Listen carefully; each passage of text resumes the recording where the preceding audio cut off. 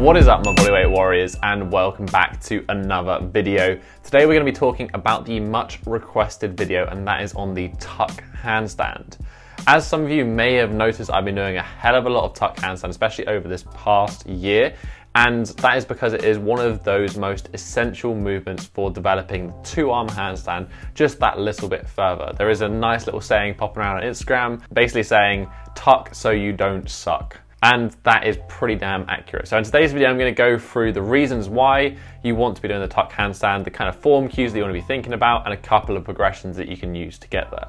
The tuck handstand is essentially a development of the straight line handstand. Ideally, once we get a little bit more refined with our handstand and we're kicking up into a two arm, we want to be in a good straight line. So this is gonna be when all of our joints are stacked on top of each other. So we have elbows on top of wrists, shoulders on top of elbows, hips on top of shoulders, and then feet at the top, making hopefully pretty much one nice straight line through all of those joints. This is gonna be the most efficient position and also most stable position to do further moves in the handstand. The tuck handstand is essentially just a development of this straight line handstand.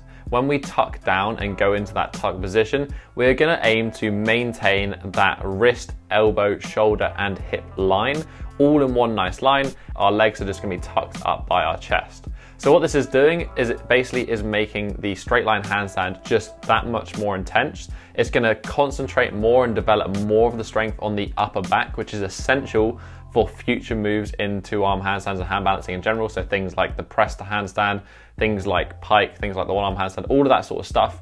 This is gonna help develop the strength that you need in shoulder flexion, something that's very handstand specific. Whilst this position is much more intense to hold simply because of where it shifts the center of gravity, it's also gonna make it actually easier to balance because your center of gravity is that much lower. So it's more intense, it's heavier, but it is gonna be easier to balance. The reason this position is so good and such an important stepping stone once you have a two arm handstand is because it forces you to have open shoulders and it will help to develop your overhead flexibility. I have struggled for years with my overhead flexibility. I have not got the best genetic predisposition for shoulder flexibility. The one thing that managed to break through that last little bit for me was the tuck handstand because it's strengthening in that end range of shoulder flexion, that thing that's very, very specific to doing handstands. So if you want to develop your overhead flexibility, the tuck handstand will force you to have to have good overhead flexibility because if you don't, if you start in like a banana handstand, you tuck on down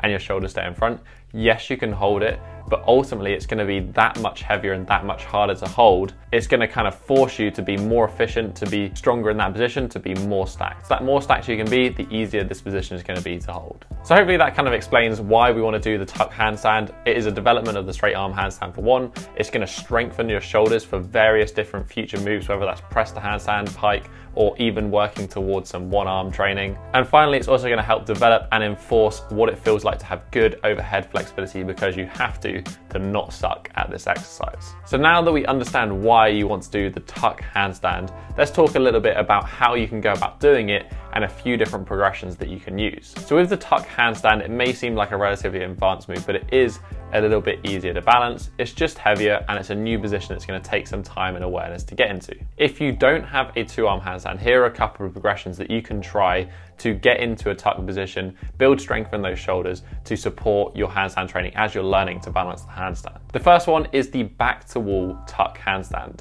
Now for this one, you're gonna kick up into a back to wall position. You're gonna push nice and tall through those shoulders and go into a straight line. From here, what you're gonna think about doing is you're gonna think about posteriorly tucking those hips and then starting to pull the knees down towards the chest. And in this position, it's very, very important that as you do this, you try to push as tall as possible the entire time during the exercise. You can still use the wall to assist with your feet dragging down it, but try to keep the knees the correct side of the hand line. For this one, very simply, just try to tuck down as far as you can comfortably hold. Then you can then either choose to hold this position for a few seconds before going back up and repeating for reps, or you can just hold it for time.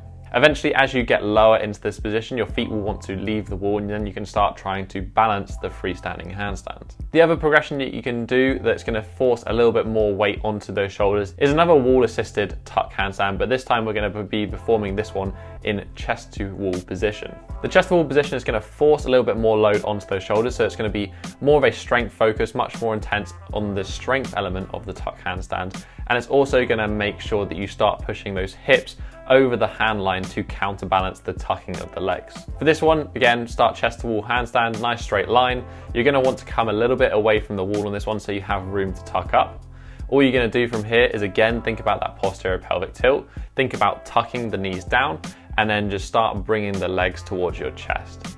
Again, with this one, just tuck as far as you feel comfortable. You might get to 45 degrees, you might get lower, you might get to 90. Just keep coming down till you find a point that feels good and intense enough for you. All the time, you're trying to push tall, trying to maintain stacked shoulders, and you're trying to let those hips just drift out over the hand line to counterbalance where those legs will be.